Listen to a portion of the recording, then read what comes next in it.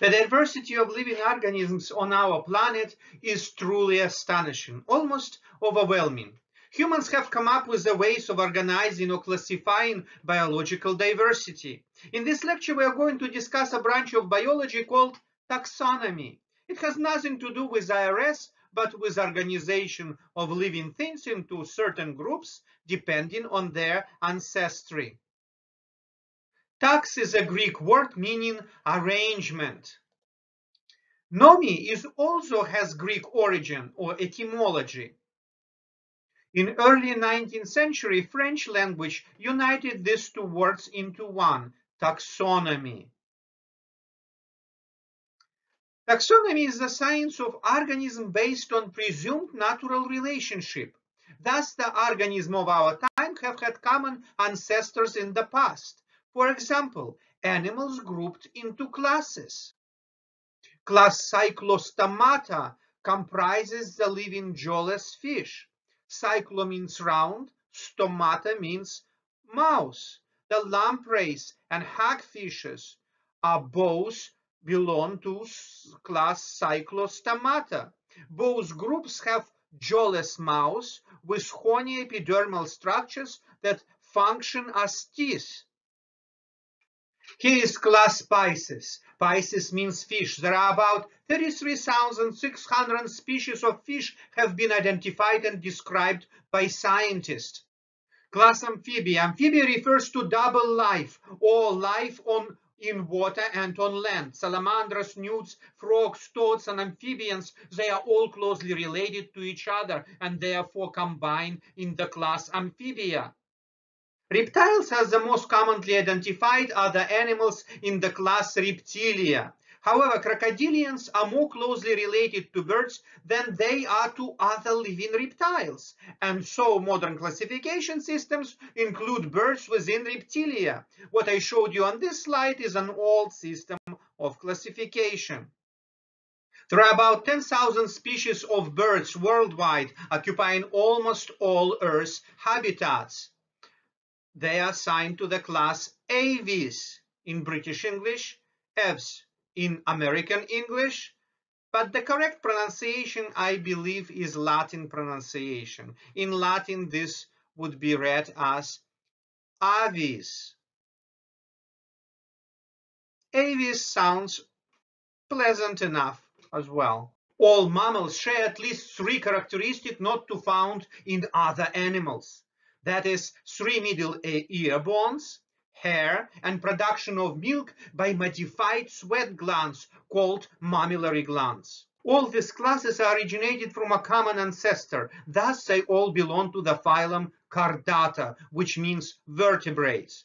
We will talk about this in more details later during this lecture. So this is why we define taxonomy as a branch of biological sciences that is basis classification of organisms on the presumed natural relationship.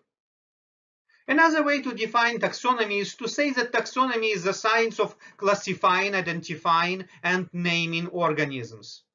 This means that taxonomy consists of three components, classification, identification, and nomenclature. Classification is the arrangement of organisms into groups based on similar characteristics, evolutionary similarity, or common ancestry. These groups are also called taxa, singular taxon.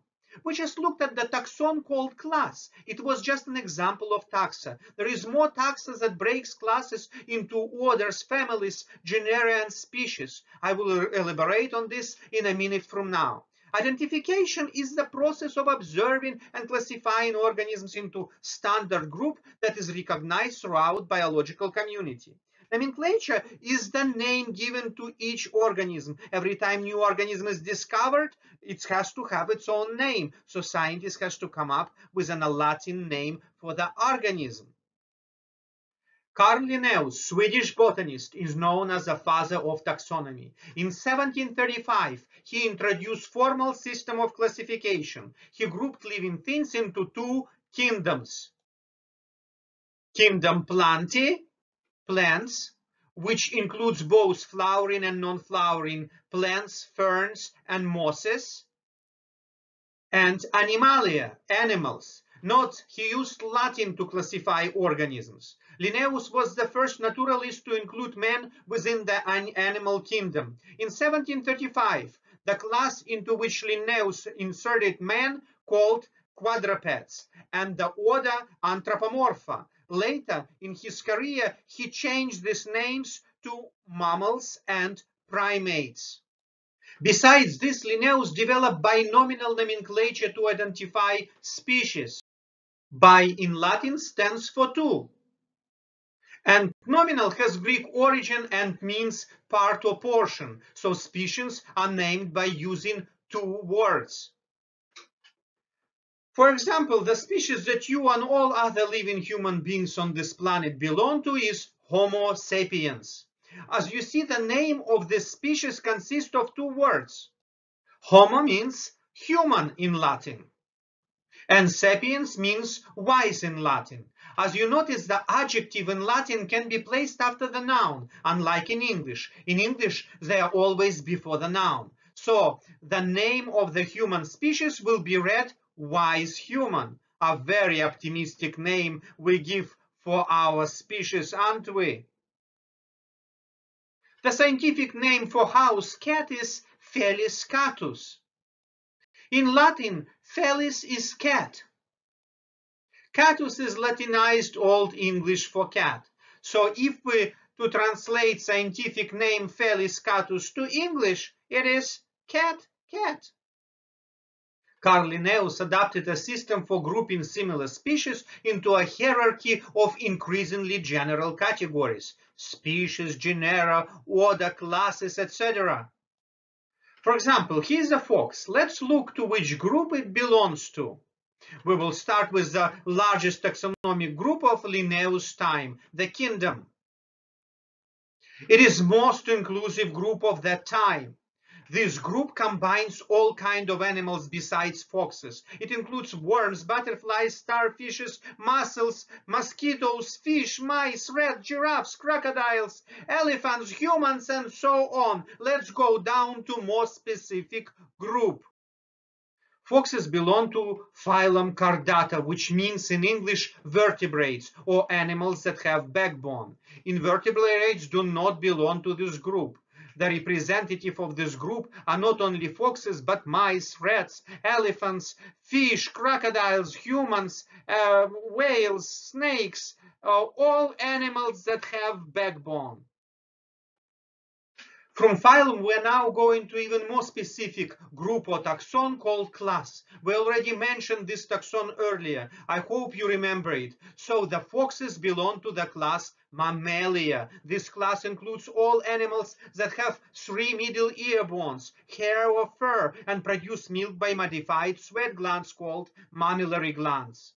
In Latin, mama means breast. Next taxon is order foxes belong to order Carnivora.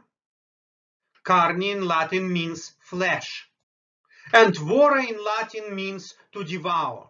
So the foxes belong to the meat-eating organisms such as wolves, dogs, cats, raccoons, bears, hyenas, and seals, to name just few. The most specific to order is family. Foxes belong to family Canidae. Canis in Latin means dog. Canidae is a biological family of dog-like carnivorans.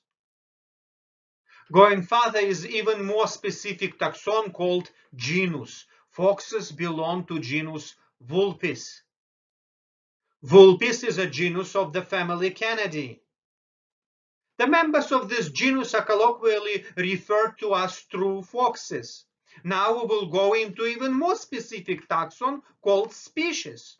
The genus Vulpes contains 12 different species or true foxes. The one you see on this slide is the most widespread, uh, the red fox, which has the scientific name Vulpes vulpes and is found across most of the northern hemisphere. Why do we use binomial Latin names in science? We do it to make life easier for biologists. For example, let's take a look at the jellyfish. Why a jellyfish is called a jellyfish? Is it a fish? No, it is not a fish. Jellyfish is not a scientific but common name for this organism. common names are often misleading. In order for an organism to be a fish, an organism has to have an endoskeleton. Jellyfish has no skeleton. It has no backbone like fish have. It has no fins and scales. So jellyfish is not a fish. It is a cnidarian. Cnidus in Latin means stinging needle. Cnidarians are found in many aquatic environments. They are soft-bodied stinging animals, also among them sea anemones and corals. Look at this organism. Common name is a crayfish. Is it a fish? No. This organism has exoskeleton, not endoskeleton. It does not have backbone. It does not have fins or scales. Crayfish are freshwater crustacean, close relative of a lobster. It is a small lobster-like crustacean, not a fish. Look at this organism. Common name is silverfish. But is it a fish? No, it is an insect. The scientific name of this insect is Lepisma saccharinum. Lepisma means to peel. And saccharinum literally means starch eater. You're more likely to meet this insect if you left spilled sugar or uh, starch in your kitchen storage cabinet. The name indicates that the silverfish diet consists of carbohydrates such as sugar or starches. As I indicated earlier, binomial names for the species were instituted by Carl Linnaeus.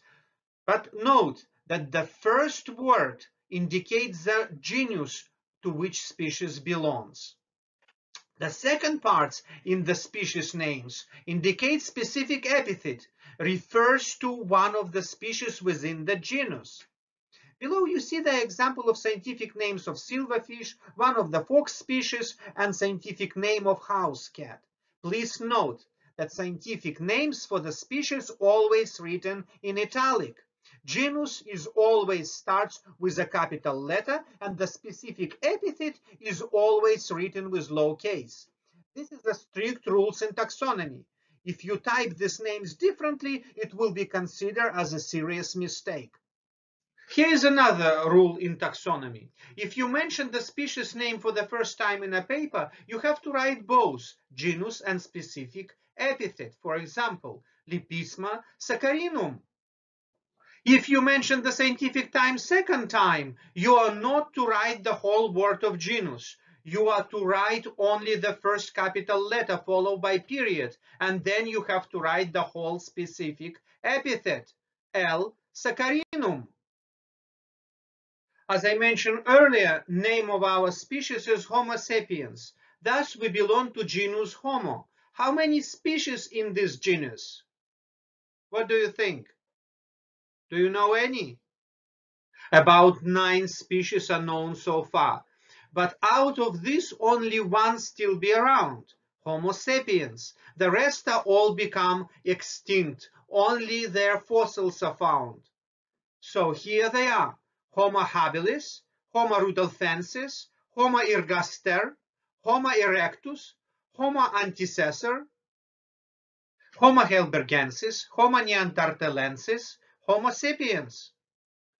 Use of binomial names for species make it easier to learn how close species are related to each other. For example, the scientific name for leopard is Panthera pardus. The scientific name for a tiger is Panthera tigris. Thus, we can learn that both leopard and tiger belong to the same genus Panthera, but to a different species. The scientific name for jaguar is Panthera onca, which indicates that all three species, Panthera pardus, Panthera tigris, and Panthera onca, are members of the same genus Panthera. Moreover, the scientific name for African lion is Panthera leo. Just from the name, you can instantly see that leopards, tigers, jaguars, and lions are closely related because they all members of the genus Panthera. However, they are not the same species, so binomial nomenclature is a quite handy tool to learn and communicate about living things around us. We just named many different species, but what are species? What means to be a species? Organisms belong to the same species if they can interbreed and produce viable, fertile offspring. The key words are viable and fertile offspring. Different species technically can have sex, but there will be no viable or fertile offspring. Here's an example. A mule is the offspring of the male donkey and uh, a female horse. Donkey and horses are closely related but belong to different species. Their offspring, mules cannot have offspring. So offspring of donkeys and horses are not fertile. Why? Because they belong to different species.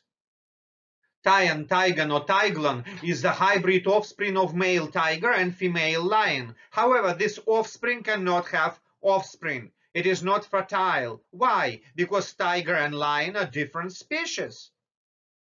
Now we will look at the large taxonomic groups. And the one type of such group you are familiar with.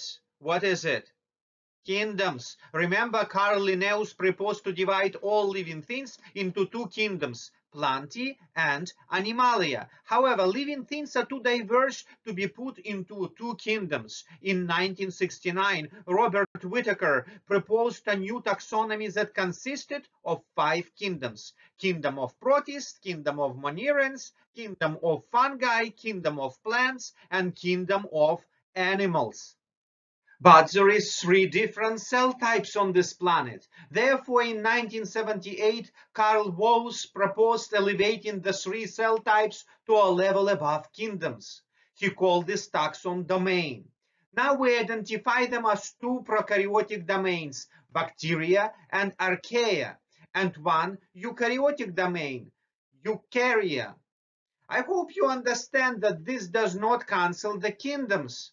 It means that these taxonomic groups are above kingdoms. Domains are more general and kingdoms are more specific. Later on, the kingdoms were revised and up to recently, there were six kingdoms. Let's take a look at them. So let me introduce you to these kingdoms. Kingdom of anima animals, kingdom of plants, kingdom of fungi, kingdom of eubacteria or simply bacteria, kingdom of archaeobacteria or better to say archaea, and kingdom of protista. Let's take a look at the kingdom of animals first. It is easily identifiable and well-known kingdom. As you already know, animals are multicellular and eukaryotic. Animals uh, live on land and in the water. No animal can make its own food. This means they are heterotrophic, not autotrophic. Most animals reproduce sexually, but a few capable to reproduce asexually. Here I will give random examples of animals. Mosquito is an animal. There are 3,600 different species of mosquitoes. Compare these to newts. There are only 100 species of newts. Fish is an animal. There are about 33,600 species of fish. There are 1,100 species of mice around the world. There are 17,500 species of butterflies. In the United States, we have 750 species of butterflies. There are 60,000 species of snails. Compare this to 100 species of newts. Amazing, isn't it? Humans. How many species of humans? One, Homo sapiens. Other species of humans became extinct during evolution. There are 2,000 species of sea stars. There are three species of elephants, African savanna elephant, African forest elephant, and Asian elephant. There are about 1 million species of worms on our planet. Each of them, of course, is assigned specific scientific name in Latin like any other species. But imagine the amount of work the biologists did. There are 2,000 species of frogs and toads identified and detailedly described by scientists. These just few random examples of animals. I bet you can give much more examples of animals such as flies, jaguars, hippopotamus, giraffes, bedbugs, and so on and so on. Enough! Let's take a look at another easily identifiable kingdom, kingdom of plants. This kingdom is comprised of non-flowering plants, for example, ferns, mosses, horsetails, conifers, cycads, and ginkgo. It is estimated that there are more than 30,000 species of non-flowering plants on Earth.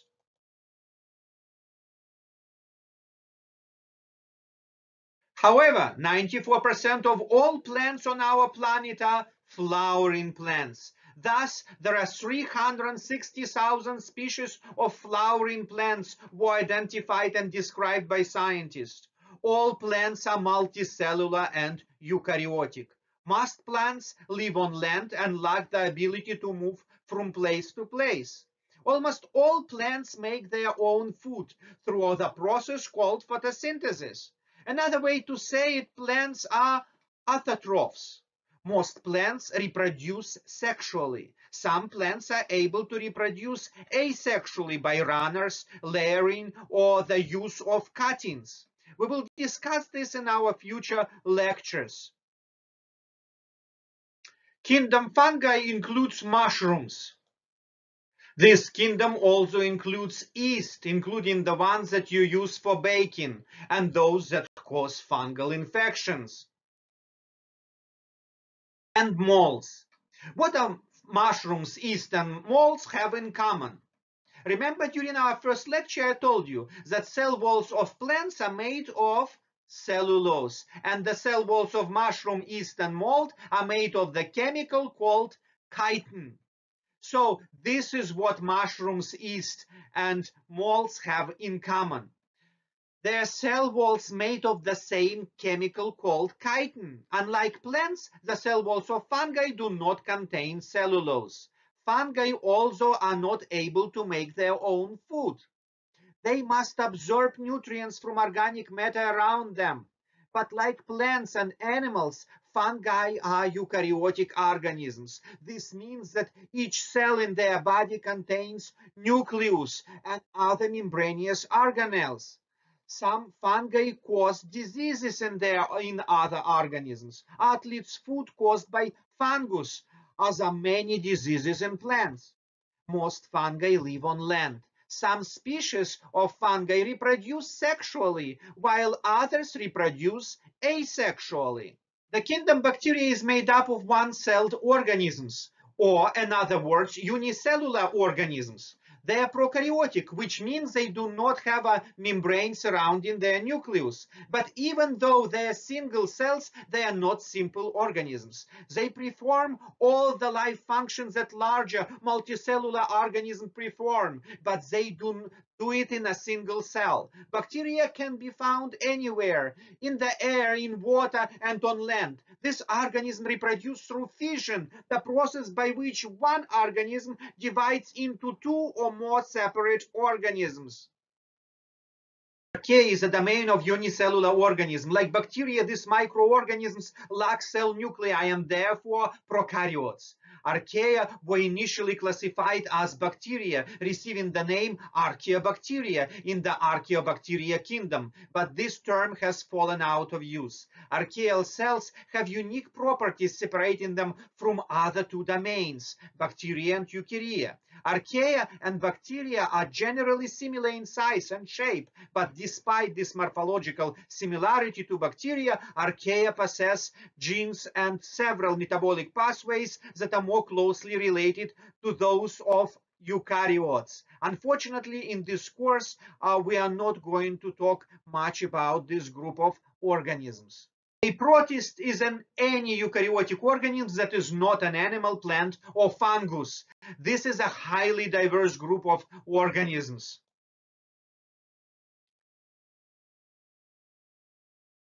While it is likely that protists share a common ancestor, protists do not form a natural group or clade. Therefore, some protists may be more closely related to animals, plants, or fungi than they are to each other. The biological category protist is used for convenience.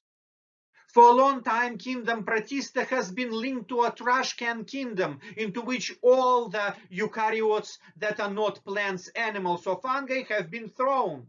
Because of this reason, the kingdom Protista had been cancelled for a long while already, but there was no other kingdom proposed. So the taxonomy of protists hanging in, in the air now, different textbooks propose different ways of classification of this highly diverse organism that includes Paramecium, Euglena, Volvox, slime molds, and amoeba, and myriads of others. Okay, enough about kingdoms. What do you see on this slide is taxonomic hierarchy of life. You see all the taxonomic groups we mentioned during this lecture. If we will look from the bottom to the top, we will go to from more general to more specific. If we will go from top to the bottom, we will uh, go from more specific to more general. Or we can say that from the bottom to the top, there will be increase in similarity. During identification of organisms, the names are written in the following order domain, kingdom, phyla, class, order, family, genus, species. How do you remember this? Well, there is a memory device that students remember for at least century. King Philip came over from Greece singing sons. K stands for kingdom, PH stands for phylum, C for class, and so on.